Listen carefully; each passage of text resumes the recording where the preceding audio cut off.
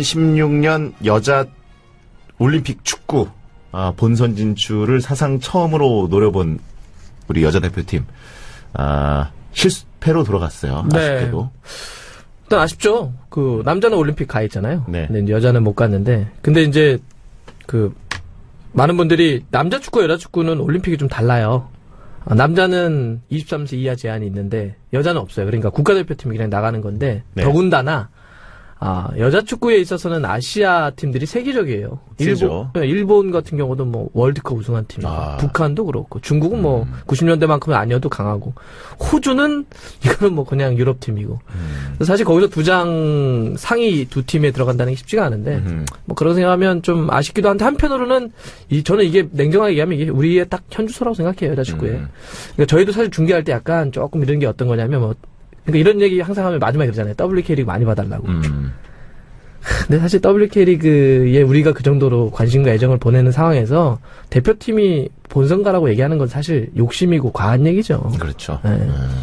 아무튼 우리나라의 여자 축구 대표팀이 그래도 역대 최고의 황금 세대 아닙니까? 그렇죠. 예, 네. 뭐 여자 월드컵이라든가 뭐 저연령 대표 음. 그리고 이런 데서 계속 성적을 내왔고 어, 어떻게 보면 남자 대표팀 선수들만큼이나 유명한 선수들도 처음으로 많이 배출됐잖아요. 뭐 지소연 네, 예. 뭐 이런 있고. 그리고 전가을 뭐 요즘에 이미나 음, 음. 그리고 또 심서연 음. 심서연 선수도 부상 당했더라고요. 아, 그렇습니다. 좀 아쉬운데 하여튼 그래도 역대 최고의 한국 여자 대표 선수들이라는 자부심을 갖고 또 다음 대회 때 잘 됐으면 좋겠습니다. 여자 대표팀 선수들의 그 여자 서- 축구 선수들의 이렇게 일- 생활적인 면을 보면 생각하는 것보다 되게 열악해요. 아 그래요? 예를 들어서 뭐, 연봉이 보통 주급 어떻게 됩니까? 주급. 뭐 아니 이게 연봉제도인데 아, 우리는? 지급이 아니니까. 근데 연봉도 우리가 생각하는 것보다 되게 적고요. 음. 그리고 뭐 선수마다 차이가 크니까. 그리고 예를 들어서 무슨 어디 축구팀 WK 리그 팀에 있잖아요. 네. 여기 프론트가 없어요. 프론트가 없다는 없어요. 건 이제 관리팀이 없다는 건가요? 네, 그러니까 관리 스텝이 없고요. 그냥 예를 들어서 뭐 어디 네. 그리고 여자 축구는 에이전트도 잘못 두게 해요. 어, 그리고 뭐 이적할 때 이적도 제대로 못 해요. 어, 규정도 되게 이상해요. 아 그래요. 그래서 안으로 들어가 보면 정말 아니 어떻게 이렇게 생활하지라고 하는데 뭐 그게 그냥 우리의 현실이죠. 근데 그렇구나. 대표팀만 보면 이제 화려해 보이긴 하지만 음, 어, 어떻게 보면 무리한 요구를 또 팬들이 하고 있다는 생각도 드는군요. 그렇죠 한편으로는. 그 이민아 선수나 심서연 선수 같은 경우에는 어, 어떤 남자 스타일 좋아하나요? 자, 그냥 개인적으로 궁금해요. 아니 제가 이민아 선수는 뭐 특별히 그런 얘기를 해보지 못했고. 귀여워요. 예, 어 되게 귀여워요. 네. 예. 정말 이렇게 가녀린데 정말 뛰는 거는 박지성처럼 아. 뛰어요. 그러니까요. 놀라워요. 근데 네. 심서연 선수하고는 사실 지난번 해설도 같이 했지만 그 전에 밥을 먹으면서 그런 얘기 했어요. 남자친구를 소개시켜 달라고. 어허. 그래서 네, 어떤 스타일? 어떤 스타일 좋아하냐 네. 했더니 자기보다는 키가 좀 컸으면 좋겠대요. 아 그래요? 네, 김선 그- 선수가 70. 70이었다. 어, 저 중앙 수비이기 때문에 키가 크거든요. 네. 그래서 어, 그리고 얼굴은 정말 안 본다 그러면서 음, 정말 자기는 좀 착했으면 좋겠대요. 아. 그러니까 다시 정리한 얼굴 두 한번. 뭐, 몸을 보고 그런 건 아닌가? 그러니까 몸은 보는 것 같아요. 170 넘어야 되고 음. 그리고 이제 어, 착했으면 좋겠대요. 나이 보나요? 나이는 특별히 얘기 안 하던데요? 네, 알겠습니다. 왜요? 네. 아니 그냥 궁금했어요. 제가 워낙 소개팅을 잘 시켜주는 사람이라. 네. 자, 어, 지난주에 관전평이 왔는데 소경진 씨가 위크엔드 헤럴드 트리뷴 독자 게시판에 길게 사연을 써주셨습니다. 박문성 해설위원님 봤어요. 이런 제목이었는데요. 어, 목동에 위치한 S방송국에서 일하게 된 막내 쪼랭이 디자이너입니다. 쪼랭이는 뭐죠? 어, 아무튼 디자이너, 이런 CG실 이런 데서 하시는 분인가 네네. 보네요. 어, 저희 방송국에 같이 다니는 분인데 얼마 전 1층 로비에서 봤어요. 귀에 익은 목소리로 걸쭉하고 상남자스러운 단어를 늘어놓는 모습을 보고 어, 참 인간적이다라는 생각이 들었습니다. 하지만 걸쭉한 입담보다 실물에 깜짝 놀랐습니다. 화면으로 봤을 때는 눈가 주름들이 아주 센 인상을 줬는데 실물은 훈훈했어요. 저 일상생활 가능한 사람입니다. 시력도 좋고요. 달려가서 같이 사진이라도 찍고 싶었지만 박문성 해설위원께서 지인들과 이야기하는데 방해될까봐 못했네요. 독자 게시판에 소개된 사연도 당첨되면 선물 주나요? 그렇다면 소통왕 배성재 아나운서님께 직접 받으러 가면 안 될까요? 1분 안에 뛰어 내려갈게요. 좋습니다. 제가 이렇게 이런 얘기 참 많이 들어요. 시- 뭐요? 실물이 낫다. 음, 네. 그렇군요. 뭐 비교를 뭐, 둘, 둘 중에 뭘 고르셔도 저희는 크게 아무거나 고르시었으면 좋겠습니다. 아무튼 어, 소경진님 저희 방송국에서 일하시는 분이라 선물 이렇게 내부자 거래로 드려도 되나요? 뭐 된답니다. 어쨌든 어 근데 이게 이렇게 길게 써주셨는데 네. 제가 또그 요약 잘하잖아요. 네네. 핵심은 소통왕 배성재 아나운서께 직접 받으러 가고 싶다. 그렇습니다. 박문성 의원은 봤는데 사진 찍으러 가기 좀 그랬고 저한테는 직접 받으러 뛰어오고 싶다. 네, 네. 이게 핵심이라고 제가 생각해요. 어떤 상남자스러운 단어를 늘어놨을까요? 제가 보기에는 뭐 굉장히 쌍스럽게 욕하고 뭐 돈 얘기하고 뭐 굉장히 비인간적인 얘기를 했을 것 같은데 그러니까 괄호치고 이 따옴표 안에 네. 참 인간적이다 이런 느낌은 비아냥의 느낌도 좀 느껴지거든요. 아 그리고 공식적인 관전평이 도착했습니다. 네. 저희가 이제 그 심의도 받는 방송이고 또 모니터 요원들이 항상 어, 상주하면서 방송에 대한 어, 정리를 해주거든요. 네네. 오늘 방송은 어떤 내용을 가지고 어떤 얘기를 했는데 좀 이런 게 거슬렸다, 이런 것들은 좋았다, 뭐 이런 얘기도 있는데. 음. 아, 그래요? 아, 이거 공식 모니터입니다. 사내 박문성 씨는 배성재 씨가 어떤 얘기를 하든 웃음을 참지 못하는데 웃음이 나쁠 건 없지만 다소 지나친 감이 있어 주의가 필요해 보임. 아니, 네. 그렇다고 나오는 웃음을 멈춰요? 네. 아 그리고 저희 그 책임 PD CP님께서도 그랬어요. 아, 그래요? 어, 박문성 의원이 아, 다 좋고 방송도 잘하고 정말 재밌는데 좀 경박하게 웃는 너무 많이 웃는 것 같다. 뭐 이런 얘기가 있었습니다. 네. 아 기분 좋은 관전평이라 아니, 뭐 좋은 얘기는 없어요? 네? 공식 여기는 다 이런 얘기만 쓰나? 어 좋은 얘기가 뭐 있어도 저희가 빼내니까요. 좋게 생각하시기 바랍니다. 네. 자, 배성재 박문성의 위켄드 헤럴드 트리뷴. 아, 토요일인 오늘은 각종 사건 사고 소식을 담은 사회면을 전해드릴 거고요. 여러분께서는 방송 들으시면서 이렇게 관전평 모니터를 보내실 수가 있습니다. 아, 경박하다. 아, 사람 가볍다. 시끄럽다. 이런 것들 환영합니다. 저에 대한 찬양도 환영하고요. 문자 메시지는 샵 1077번이고 단문은 50원, 장문 100원입니다. 고릴라나 모바일 메신저는 무료입니다. 좀 더 심도 깊은 평가를 남기고 싶으시면 홈페이지 위켄드 헤럴드 트리뷴 독자 게시 판에 적어주십시오. 관전평에 소개되면 무조건 선물을 드립니다. 아, 지금 실시간으로 연결돼 있는 우리 동시 접속자분들도 있는데요. 참 반갑고요. 저희를 보고 계십니다. 아, 다음 TV팟 라이브로 듣고 계신데 볼륨 어떻게 괜찮으신가요? 음, 볼륨 괜찮으세요? 이 대답이 좀 느려요. 이게 delay가 있어가지고. 괜찮으세요? 린스티어님, 네, 반갑습니다. 아, 접속하신 분이 아이디가 배성재여서 읽기도 좀 그렇고, 제가 얘기한 다음에, 자, 배성재님이 이렇게 얘기했습니다. 이렇게 얘기했고, 어, 오케이, 오케이 사인들을 보내주고 계신 분. 이제 괜찮네요. 아까 좀 그랬나봐요. 반갑습니다. 아까 근데 제가 힐끗힐끗 이렇게 채팅창을 보는데, 뒤에 귀신 있어요. 그래가지고 깜짝 놀랐어요. 그러니까 막내 작가가 어, 음료수 사갖고 와서 뒤에서 기다리고 있었습니다. 아, 그래요? 네, 첫 번째 뉴스 시작합니다. Weekend Herald Tribune 사회면 첫 번째 소식입니다. 얼마 전 베트남의 어느 부모가 유전자 분석 기술 센터를 방문했습니다. 아이들이 쌍둥이인데 외모가 달라도 너무 달라서 혹시나 하는 마음에 DNA 검사를 하러 갔죠. 그런데 검사 결과 에, 이 아버님은 이 아버님이 맞으신데 저의 아버님은 에, 너 아버님이 누구니? 두 아이의 어머니는 같지만 아버지가 다른 것으로 판명됐다고 합니다. 그래서 처음에 병원의 의료 사고로 의심했던 이 부모도 사실에 무척 놀랐는데 이 가족은 현재 아이들을 위한 최선의 대응을 생각하고 있는 것으로 전해졌습니다. 이상 배성재 널 어쩌면 좋니? 널 어쩌면 어쩌면 좋니? 어머님이 누구니? 황문성이었습니다. 여기서 모해님 왜 부끄러움은 우리의 몫인가요? 하셨고요. 저 이 노래 처음 네. 봤 들었어요. 랄라킴님 노래하지 맙시다. 진지하게 노래하지 맙시다. 이렇게 아, 타이르셨습니다. 자, 첫 번째 소식은 아버지가 다른 베트남의 쌍둥이에 대한 이야기였는데 한날 한시에 한 어머니에게서 태어났지만 아버지가 다르다. 이게 가능할까요? 야, 정말 신기하네요. 왜? 그 이거는 쌍둥이인데 다르다는 거죠. 아빠는 엄마는 같고. 야, 생물 공부 잘 하셨나요? 생물은 별로 안 좋아했어요. 저희 와, 이프가 좋아하는 과목인데. 아, 간호 선생님이셨죠? 아니요, 간호사는 아니었고요. 아. 어, 연구원이었는데 연구원이셨고요. 예, 이 생물 쪽을 전공을 해가지고 네. 저도 생물을 잘 몰라서 네네. 지금 그냥 놀라고 말고 있습니다. 다음에 이어갈 말이 없네요. 의학적으로 아주 불가능한 건 아니라 그래요. 예, 음. 베트남에선 최초인데 지금까지 전 세계에서 과거에도 10여 건 정도 있었다고 합니다. 어. 네. 읽어주세요. 저도 잘 약해가지고. 그 이게 지난해 미국 뉴저지에서 있었던 거라는데요. 한 여성이 남성을 상대로 쌍둥이의 양육비 청소송을 했대요. 네.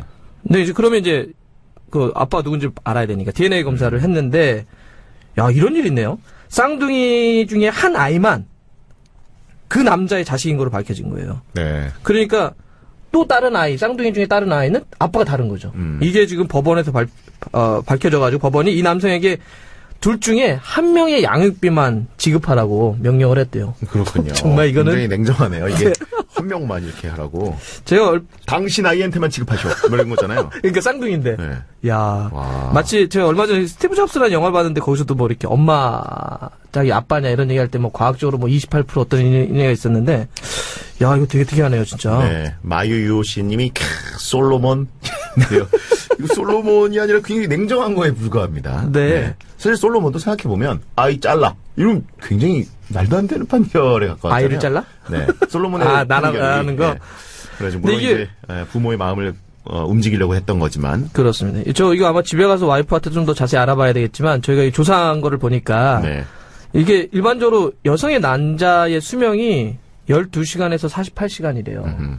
근데 남자 정자의 수명은 7일에서 10일이래요. 어. 자, 사실 이러면은 약간 좀- 좀 나오는 것 같다. 그러니까 이게 여성의 난자는 1개월에 한 번만 배란되지만 두개 네. 이상 나오는 경우가 있으니까 그러면 그 배란 딱 주기에 음. 만약 일주일 정도 사이에 여러 남성과 잠자리를 했다면 일단 그럼 이 어머니가 네네. 아, 이 아버지가 한 명이 아니었다는 거죠? 일단 아이의 이- 아버지가? 예, 일단 뭐- 두 명과 DNA 감정 네. 결과는 두 명과 이제 사랑을 했다는 거죠. 음, 음, 음. 아 그렇군요. 이 부분에 대한 어떤 그건 없나요? 뭐 사주대 백 같습니다라든가 사랑과 전쟁의 어떤 시나리오는 없네요. 뭐 그랬겠죠. 이거는 네. 근데 뭐 그냥 법원 쪽에서 판결이 난 거니까. 네. 야, 근데 이거는 진짜 어떻게 바라봐야 되나? 음, 맨유 우승 못- 못해님이 여자가 클럽 죽순이네 이렇게 써주셨는데 그거는 모르겠고요. 아무튼 베트남에서 어떤 일이 있었던 것인지 이 여성분만이 비밀을 알고 있을 것 같다는 생각이 듭니다. 그게 그- 알았을 텐데, 그죠? 그러니까요. 어, 이 사실을 발표한 베트남 유전학회 측에서 가족은 북부 호아빈성 출신이고 쌍둥이는 곧 어, 두 살이 되고 한 아이는 머리숱이 많은 곱슬머리고 나머지 아이는 머리카락이 가는 직모라고 하네요. 쌍둥이 부모와 비밀을 지키겠다는 약속을 했기 때문에 세부 사항에 관한 언급은 하지 않겠다라고 했습니다. 어, 그러니까 여성의 비밀에 대해서 일단 자세히 얘기는 안 하겠다. 근데 보통 이런 거 비밀 알면 술자리에서 털어놓지 않나요? 네. 쌀국수랑 이제 술 먹던 아, 나- 내가 그 여자 그뭐 뒷얘기 아는데 말이야 이러면서 근데 이거는 이제 두 가지로 좀 나눠서 봐야 되겠네요. 그러니까 부모의 책임이나 혹은 부모의 이- 저기 문제가 있을 거고 네. 아이들은 사실 무슨 죄예요. 그냥 아이들은 아이들이요? 태어난 건데 네. 아이들은 부모도 선택할 수 없고 음. 국적도 선택할 수 없고 뭐 부도 선택할 수 없는데 그냥 음. 태어, 태어난 건데 음. 사실 이렇게 어른들의 입장이야 뭐 아버지가 누구냐 엄마가 어떻게 키울 것이냐 이런 문제가 걸리겠지만 아이들은 그냥 태어난 건데 음흠. 이 아이들의 문제는 좀 다르게 이 사회가 좀 바라봐야 되겠네요 이 문제는 네. 그렇군요. 자 아무튼 베트남에서 태어난 두 아이가 아버지가 다르지만 어머니 잘 모시면서 잘 컸으면 좋겠습니다. 이동국 씨네 보면 그 쌍둥이들이 굉장히 예쁘잖아요. 네네 혹시 박문성 의원은 쌍둥이 욕심 뭐 나시거나 하진 않는지. 또요? 지금요? 네. 이동국 씨, 이동국 선수도 사실 어 또 이런 느낌으로 저기 있잖아요. 우리 이덕국 선수는 연봉이 네. 생각보다 굉장히 많아요. 음. 아, 박문성 의원도 어, 새 학기에 특히 많이 긁어모으잖아요. 네. 베르캄프님이 이동국 선수 결정력 후덜덜 쓰셨는데 이덕국 선수 저도 셋이니까 사실 저도 적은 편이 아니거든요. 네. 지금 잘 집중해서 잘 키우겠습니다. 알겠습니다. 네. 씨니 속보 박문성 횡설수설 뭐 이렇게 얘기를 해주셨는데요. 그렇습니다. 아까 이 씨니 웃긴 얘기했어요. 박문성 의원 국밥 먹으러 온 사람 같아요. 이렇게 화면으로 보면서 어, 저희가 딱 얘기하고 싶었던 거 끄집어내셔서 어, 오늘 아주 눈에 띄는 활약을 펼치고 계십니다. 자, 어, 배성재 박문성의 아, 배성재 박문성의 Weekend Herald Tribune 사회면 함께하고 계시고요. 박진영의 어머님이 누구니 듣고 오겠습니다. 교도소 내의 비인간적이고 모멸적인 처우를 이유로 노르웨이 정부를 고소해서 주목을 끌고 있습니다. 자, 죄수에게도 인권이 있다. 인권을 침해하는 정부는 각성하라, 각성하라. 고소한 죄수는 지난 2011년 21년형을 선고받고 현재 5년째 교도소에 수감 중인데요. 수감 중에 인권 침해를 받았다는 주장은 이번이 처음이 아니랍니다. 몇 년 전에도 정부는 교도소 내 게임기를 최신형으로 바꿔달라, 바꿔달라. 그리고 게임 좀 편하게 하게 의자도 소파로 바꿔달라, 바꿔달라.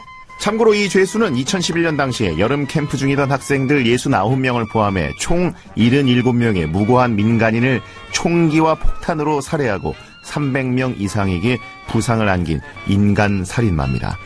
정부는 근데 왜 나한테 21년밖에 안 줬지? 이것도 각성하라 각성하라 이상 배성재 너 대자부 다 붙였냐? 박문성이었습니다. 확실히 민주화 운동의 마지막 세대 아닙니까? 박문성 의원이. 에, 93학번인가요? 네 93이죠 93학번. 네. 어, 대자보 쓰고, 어, 회계학과 출신으로서, 그, 뭐, 학생운동, 이런 거 할 때, 어, 회계를 담당했었죠? 뭔 소리야 그게 자, 어쨌든, 굉장히, 이, 살아있습니다. 마지막 세대로서. 두 번째 소식은 교도소 내 인권 침해를 이유로 정부를 고소한 노르웨이의 한 극우주의자 이야기였는데, 아, 일단, 형이 너무 가벼운 거 아닌가. 그쵸, 브레이비크. 이 이야기를 저희, 그 전 세계적으로 좀 경하게 했던 네, 뉴스였기 네, 네. 때문에 77명의 민간인을 살해하고 300명 이상의 부상을 입혔는데 21년형이면 너무 짧은 거 아닌가 하는 생각이 듭니다. 이게 뭐 일단 노르웨이가 사형제도가 없으니까 뭐 물론 사형제도가 있는 나라가 그렇게 많지는 않죠 요즘 네. 사형제도가 없는 노르웨이에서 법정 최고형이 21년이래요. 아, 그래서 노르웨이는? 21년까지만 줬대는데 아, 무기징역 이런 거에 뭐 없을까요? 그러니까요. 뭐 저는 동급으로 치는 걸까요?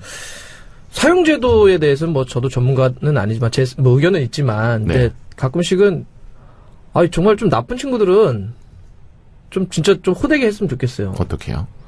뭐 진짜 사회 아- 완전 격리시키는 사형이 아니더라도 다른 방법이 있잖아요. 특히 음. 이제 제가 경악을 금치 못하는 게 이제 어린아이 나나. 나 네. 정말 무고한 사람을 아무런 이유 없이 연쇄 살인하는 사람들. 묻지만.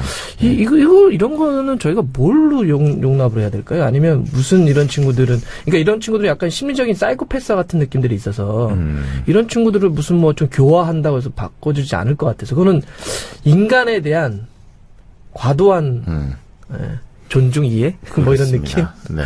곰과자님이 그런 사람은 2D 세계로 보내버려야 됩니다. 이렇게 얘기를 하시고 계신데요. 아무튼 뭐, 어, 존재가 사라져야 된다 이런 얘기를 하고 계신 것 같고, 하여튼 좀 흉악범에 대한 이야기를 하다 보니까 많은 분들이 갑자기 함께 분노를 하고 계십니다. 실시간 채팅창에 마유오심, 속보, 어, 박문성 우물쭈물 당황해.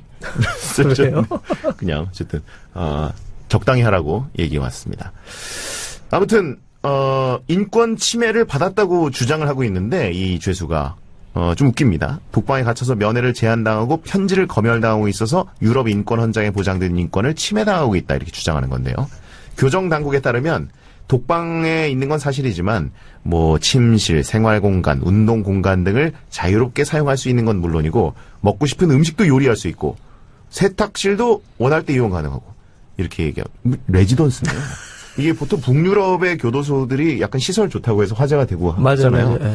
이것도 어떻게 보면은 어 죄수에게는 약간은 복에 겨운 이야기일 수도 있다는 생각이 듭니다.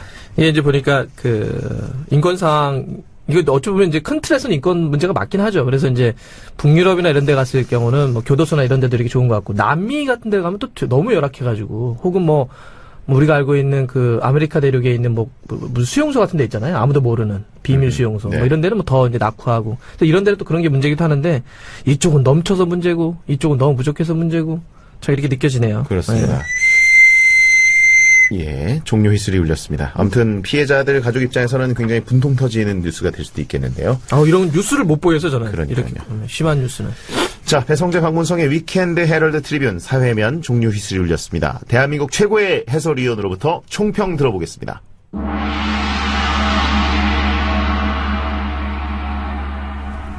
죄 짓고 삽시합시다. 네. 네. 혹시 죄 지은 거 있지 않나요? 뭐 소소하게 왜 없겠어요. 뭐 사람들도 뭐 힘들게 하고 뭐 이런 거 음. 있겠죠. 그래. 근데 무슨 뭐, 뭐 빨간 줄이 거 있지나 이런 건 없어요. 그래요? 알겠습니다. 노란 줄은 잔뜩 꺼져 있는 거 아니에요, 막? 경고 카드는 엄청, 옐로 카드는 막 계속 보이는 거 아니죠? 그렇죠. 집안부터 시작해서 뭐. 그러니까요. 집안은 지금 약간 옐로 카드 한 장 반 정도가 아닌가 생각이 듭니다. 자, 내일은 스포츠와 예술 문화 전반에 관한 문화면을 전해드릴 테니까 내일도 함께 해주시고요. 오늘 방송 어떻게 들으셨는지 홈페이지 위켄드 헤럴드 트리뷴 독자 게시판에 관전평도 남겨주시기 바랍니다. 박문성 해설위원이었습니다. 고맙습니다. 네, 고맙습니다. 오